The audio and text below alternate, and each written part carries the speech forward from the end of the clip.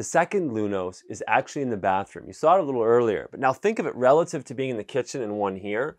One's pulling air at all times, one's pushing air at all times. So it's pulling that air across the whole house and then pushing it the other way, alter alternating direction.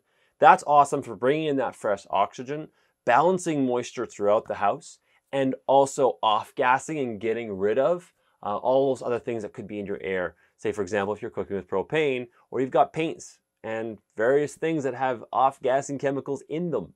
So that's the ventilation system.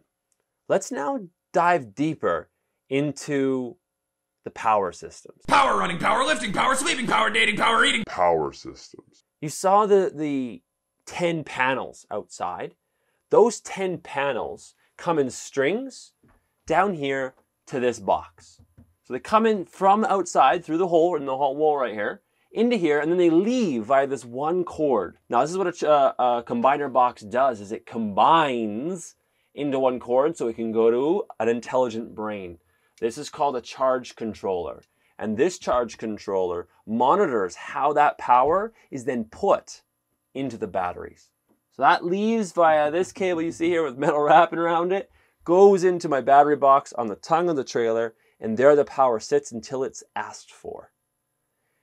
Coming out of there, it's DC power, and I'm running everything on AC. There's a whole thing here. I'm not here to train you to be an electrician, but so the batteries are holding power for us, and they're holding it in DC format, direct current to change it into AC, what most of our uh, regular lights, not LED lights, but all our outlets want is AC, like this guy, my washing machine.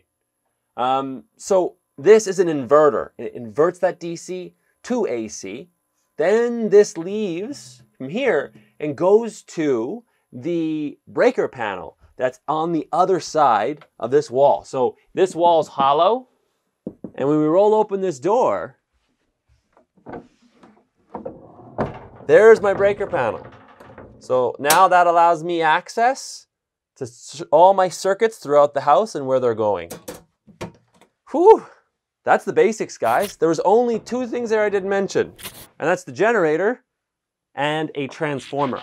So the generator that sits outside can produce 120 or 240, and if it produces 240, it can come here to this guy, be transformed back down to 120, and charge the batteries twice as quick. Extra complications here, but I wanted to give you that quick rundown. Okay, that's power. Let's now talk about heating. We talked about wood heat, sure, but I have a backup. You don't want to rely on wood heat unless you're around your house all the time, because what happens if the fire goes awry? What happens if you're away from your house too long and your water lines freeze? So you want redundancy in your heating system, and this is how I get mine. I have a Navien 150E combi boiler, capable of producing 12 to 120,000 BTUs.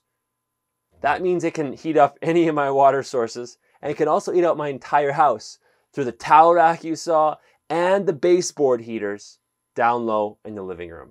When I need hot water, the evacuated floor tubes that are on the other side of this wall, outside the home, they actually collect the sun's heat for me first.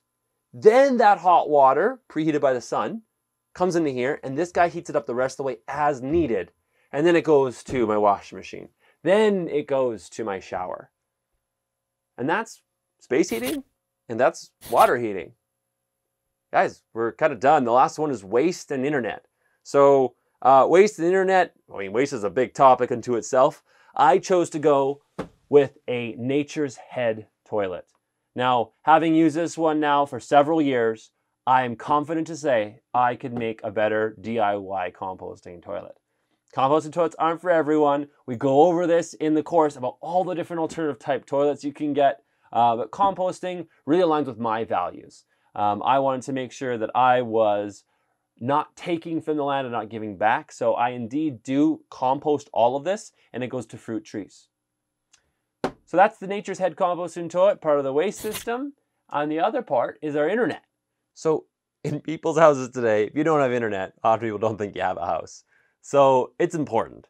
And I think most people think that satellite is one of your only remote options, and that's not true. You can get a mobile modem Uh, it's got a chip in it, same as a cell phone, and a different data rate. They're testing this out in different areas, but I have had one now for quite some time. It's a hundred bucks, no, no, 60 bucks for a hundred gigs. Uh, and that's what TELUS, and I had a different plan, very similar with Rogers. So you can get your own Wi-Fi signal broadcasted from your modem, which has a cell phone chip in it that you're paying for.